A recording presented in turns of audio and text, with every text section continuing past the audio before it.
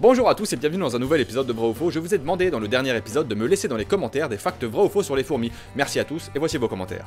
Bande de dingues. Épisode un petit peu spécial aujourd'hui, hein, vous voyez que je ne suis pas chez moi mais bien dans un laboratoire accompagné du meilleur biologiste du monde. Bon, peut-être pas, mais en tout cas mon préféré, j'ai nommé Pierre Kerner. Attention, faites un maximum de bruit, il faut que vous alliez voir son site, absolument. Merci. Pierre, est-ce que t'es prêt pour tous les facts vrais ou faux Non. Quoi? Je rigole. Oh, c'est de l'humour J'aime bien rigoler, tu sais. Mais calme-toi par contre, vraiment. C'est parti. Les fourmis rouges sont des araignées, hashtag vrai ou faux. Alors en fait... Non, c'est moi qui commence.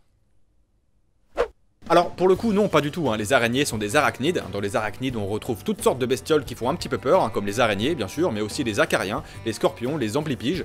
Euh, Celui-là fait très très peur. Nous sommes d'accord. Les fourmis, elles, sont des insectes appartenant à l'ordre des hyménoptères, comme les abeilles, les guêpes, etc., et à la famille des formicidés. Mais comment on fait pour euh, ne pas confondre les araignées avec des fourmis, Pierre? Un moyen de ne pas confondre, c'est de compter le nombre de pattes, 8 pour les arachnides et 6 pour les insectes. On peut aussi vérifier si on voit des antennes, les arachnides n'ont pas d'antennes. Mais parfois ça peut carrément être chaud de voir la différence parce que certaines espèces d'araignées miment des fourmis. Regarde un peu celle-ci par exemple. J'avoue, c'est chaud. Mais en fait, il y a combien d'espèces de fourmis? Plus de 25 000 espèces caractérisées et certains estiment qu'il pourrait y en avoir plus de 40 000 au total. Et j'en ai quelques-unes ici avec moi si tu veux qu'on en observe. Ok. Il y en a qui volent, elles prennent ton vélo et se barrent avec leurs petites ailes. Logique, RT si c'est triste. Il y en a qui volent, effectivement, ce sont les princes et les futures reines. Les autres, les ouvrières, etc., n'ont pas ce privilège. Alors, oui, elles peuvent voler euh, avec un déplacement assez chaotique. C'est d'ailleurs en observant des fourmis ailées qu'on peut mieux se rendre compte du lien de parenté entre les fourmis, les abeilles, les guêpes, etc. Tous ces insectes appartiennent à l'ordre des hyménoptères, qui sont notamment caractérisés par deux paires d'ailes assez bizarres, puisqu'elles fonctionnent un peu comme une seule paire d'ailes. En fait, les ailes arrière s'accrochent aux ailes avant avec un système de crochets, et ça reviendrait un petit peu à marcher avec les bras attachés aux jambes. Fait pas mal, hein, et surtout, euh, casse pas le matos. Regarde plutôt à quoi ressemblent les ailes d'une abeille, et des ailes de fourmi ailées. On va voir si on est capable de voir ça pour les fourmis, ce qui confirmerait qu'on est bien en face d'un animal hyménoptère. Tentons l'expérience. Tu vois déjà des crochets? Je vois déjà des crochets. Est-ce que tu peux zoomer? Ah, je les vois. eh oui. Je vois les crochets. C'est juste quand on sait ce qu'on veut voir, Donc ça, C'est mieux. assez stylé de voir ça, effectivement. Hein, donc ça c'est les, les crochets. Ouais, c'est cool, mais ce qu'il faut dire à MXN, c'est que ces fourmis ont leurs ailes uniquement pendant la période d'essaimage. Période pendant laquelle elles forment un essaim, tu, tu, tu vois le lien Essaim, essaimage. Merci pour cette intervention plus que nécessaire, vraiment. Non mais euh, quand elles forment ce grand essaim, c'est quand même assez dingue ce regroupement, c'est un petit peu comme une convention, tu vois, genre la Japan Expo des fourmis. La fourmi expo Voilà, et pendant l'essaimage, la copulation a lieu en plein vol, et je te laisse juger du degré galère de l'affaire. Après, les femelles fécondées deviendront des reines, et elles s'arrachent leurs ailes avant de former leur colonie. De leur côté, les princes crèvent comme des moins que rien, leur rôle étant limité à la fécondation. Les pauvres. Est-ce vrai que les fourmis ont des esclaves? Vrai, les fourmis esclavagistes ont effectivement des esclaves qui bossent pour elles. Hein, en fait, euh, les fourmis vont capturer des larves d'une autre espèce de fourmi dans une autre fourmilière, au calme. Les petites fourmis naissent chez l'ennemi et travaillent pour ces dernières sans même le savoir. Jackpot. Ce qui est assez dingue, c'est qu'on retrouve ce comportement chez des espèces de fourmis totalement différentes et donc apparu plusieurs fois au cours de l'évolution des fourmis. Chez certaines, c'est un comportement facultatif et elles peuvent se débrouiller sans esclaves, mais chez d'autres, c'est obligatoire et elles ne peuvent pas survivre sans esclaves. C'est ouf, mais je suis certain qu'il existe un max d'autres fourmis qui font des choses incroyables niveau comportement. Hein, Pierre? Genre des fourmis vampires qui sucent le sang de leurs propres larves, ce niveau de comportement what the fuck? Exact Ah d'accord, mais on met le paquet d'emblée de jeu là. Excellent. Et ouais, je sais pas si t'as remarqué, mais les fourmis sont caractérisées par un abdomen tout fin, une taille de guêpe. Mais carrément, on appelle ça le pétiole par ailleurs. Les fourmis ne peuvent pas manger des aliments solides, mais uniquement liquides quand elles sont adultes. Chez l'espèce Adetomyrma, la solution c'est de faire bouffer les aliments solides aux larves et de leur sucer le sang quand on est adulte. Nozman est une fourmi géante déguisée en humain. Il attend le jour où sa grande colère se réveillera et il anéantirait notre planète. Résolution 2017, arrêtez les drogues dures. C'est une bonne idée. Pour la drogue. hein. Est-ce vrai que les fourmis ne voient pas mais se repèrent en déposant des hormones? Hormones Alors si, la grande majorité des fourmis peuvent voir, c'est légèrement compliqué de savoir ce qu'elles peuvent voir précisément, mais les fourmis ont bien des yeux qui sont d'ailleurs composés de facettes, qu'on appelle des omatidies. C'est pour ça qu'on a l'impression qu'il y a plein de petites boules à l'intérieur d'un même œil. Ce sont les facettes, donc les fourmis voient une myriade d'images, puisque chaque facette renvoie une image à leur petit cerveau. Et comme une image vaut 1000 mots, nous pouvons peut-être observer un œil à la loupe bino. Non? On va voir si elle a les fameux yeux dont tu parlais tout à l'heure. Les Oh. fameux yeux formés de quoi? Deux facettes.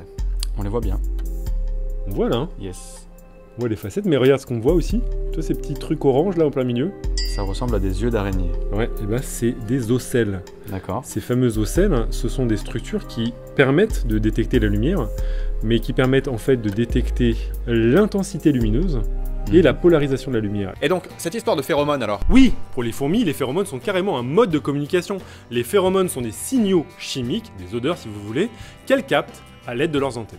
Quand tu dis mode de communication, c'est-à-dire qu'en fait, il n'existe pas simplement qu'une seule odeur qu'elles suivent. Non, en fait, les formules chimiques des phéromones peuvent changer en fonction du but. C'est-à-dire qu'une ligne de phéromones qui indique un chemin vers de la nourriture n'a pas la même composition chimique qu'une ligne de phéromones qui indique un danger, par exemple. Exactement, et en plus de ça, ces signaux changent en fonction de l'espèce de fourmi. La composition chimique des phéromones qui indiquent un chemin vers de la nourriture ne sera pas la même pour telle ou telle espèce. On commence un peu à comprendre ce curieux langage, et des chercheurs ont même réussi à créer des phéromones de synthèse.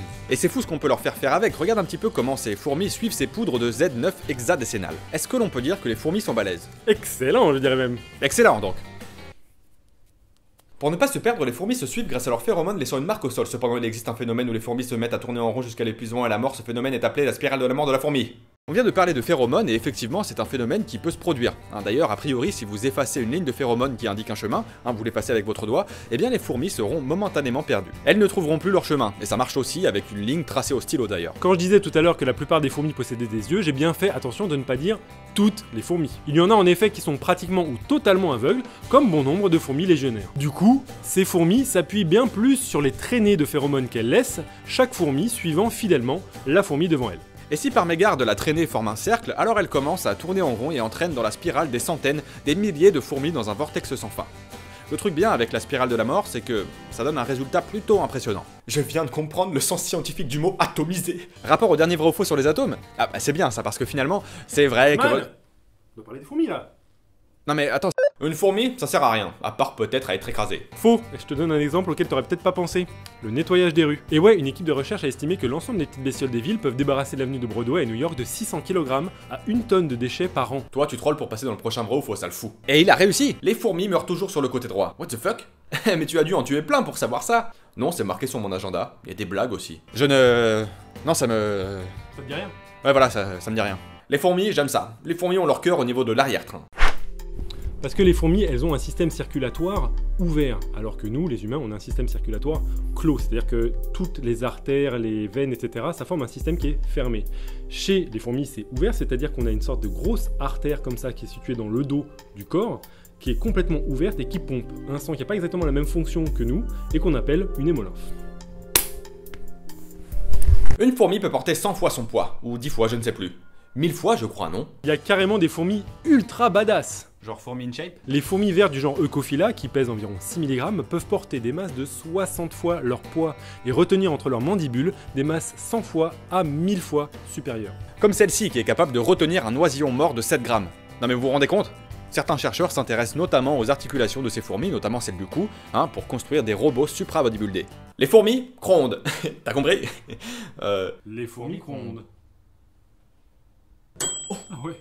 Une fourmi ne peut pas mourir quand elle tombe de haut, peu importe la hauteur. Oui. Un peu de physique. En fait, c'est assez simple à comprendre. Lors d'une chute d'une fourmi, ou toute autre chose, hein, ça fonctionne avec euh, même un chat ou une casquette, Pourquoi une casquette? Je te dirais pas. Il y a deux forces à prendre en compte là-dedans. Le poids de la fourmi qui la tire vers le bas et la résistance de l'air qui freine sa chute. En revanche, en raison de son très faible poids, la fourmi de base chute plutôt lentement. Nous sommes d'accord. Plus la fourmi chute, plus la fourmi gagne en vitesse parce qu'elle est tirée par son poids. Mais plus elle chute vite, plus la résistance de l'air augmente et donc freine de plus en plus la chute. Et à un moment, sa vitesse de chute n'augmente plus. Et ça arrive même plutôt rapidement. hein. Je veux dire qu'elle atteint sa vitesse maximale de chute très rapidement, quelques centimètres et hop, vitesse maximale atteinte, environ 6 km/h.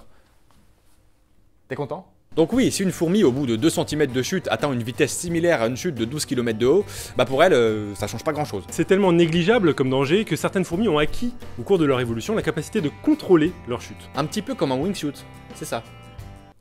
Sauf qu'elles contrôlent leur chute avec leurs pattes.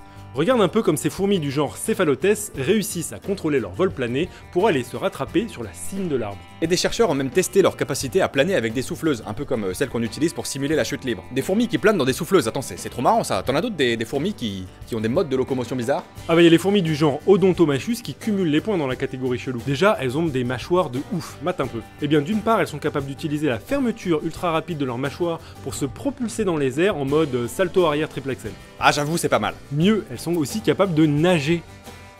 Pour survivre pendant les inondations, les fourmis de feu Solenopsis invicta peuvent former un véritable radeau flottant en se regroupant entre elles. C'est vrai, et ça c'est une astuce de l'évolution pour les fourmis qui ne savent pas nager comme Odontomachus. À la place, on a quelque chose d'assez incroyable au niveau coordination chez les fourmis de feu. Non seulement elles peuvent former des radeaux, mais carrément des passerelles sur l'eau. Mais du coup, on pourrait se dire... euh, En formant leur radeau, les fourmis du dessous, elles meurent noyées Non, parce qu'en fait, les fourmis utilisent des moyens plus malins qu'un radeau fait de cadavres. Hein, des études et expériences ont été menées en laboratoire d'ailleurs. Des conditions d'inondation ont été reproduites pour voir comment les fourmis s'organisent afin de s'en sortir. Dans la plupart des cas, les fourmis utilisent la tension de surface de l'eau pour pas se noyer.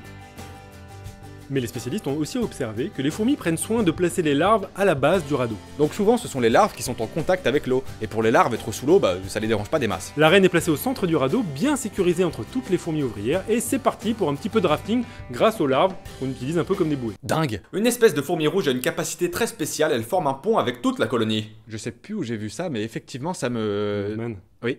C'est moi qui t'ai envoyé ça sur Facebook.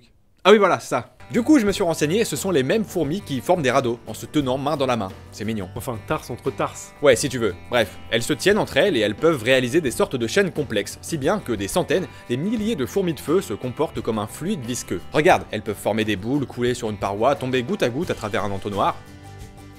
Il n'y a pas que les fourmis de feu qui font ce genre de choses. Les ponts entre deux feuilles ou branches d'arbres, c'est une des spécialités des fourmis eucophiles et des fourmis légionnaires.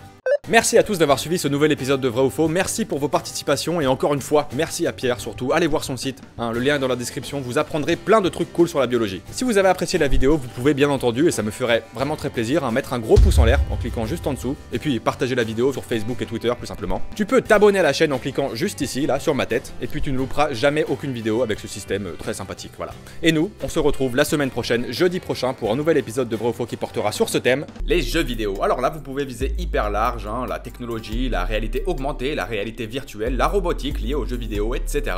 etc. Je vous laisse exploser les commentaires de Fact Vrai ou Faux encore une fois et on se retrouve la semaine prochaine pour une nouvelle vidéo. A très bientôt car la science n'attend pas. Ciao